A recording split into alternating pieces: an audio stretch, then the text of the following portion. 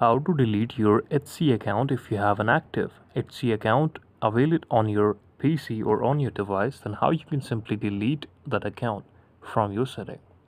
For this you have to open your browser in front of you and officially go on the official Etsy website and click on the right top corner of the screen that is your profile option.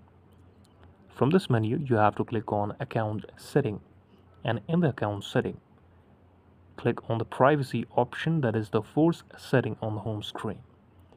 Here you have to scroll to the down and you will see a lot of things and a lot of menu in this setting. But you can simply reach out to the customer care service of Etsy to request delete your account. Here this option is permanently close and delete your Etsy account. You have to click on and click on I'm sure option then click on the OK button to delete your account. So this is how you can successfully delete your Etsy account in front of you.